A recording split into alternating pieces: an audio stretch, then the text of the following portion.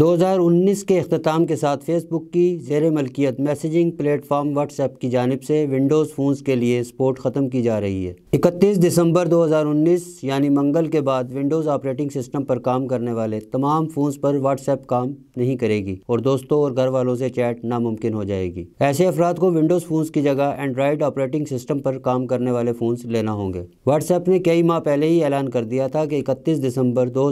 को तमाम Windows operating system पर चलने वाले फ़ोन्स को सपोर्ट ख़त्म कर दी जाएगी व्हाट्सएप के मुताबिक विंडोज़ फ़ोन्स में अब वो अहलियत नहीं रही जो मुस्तबिल में इस ऐप में मुतारफ़ कराए जाने वाले फ़ीचर्स के लिए ज़रूरी होगी व्हाट्सएप के एफ़ पेज के मुताबिक यकम फरवरी 2020 से इन तमाम आईफोन्स के लिए सपोर्ट ख़त्म कर दी जाएगी जो I O S eight operating system पर चल रहे होंगे जो कि 2014 में मुतारफ़ कराया गया था अगर सार्फिन आई ओ एस के नए वर्जन को अपडेट कर लें तो वो व्हाट्सएप इस्तेमाल कर सकेंगे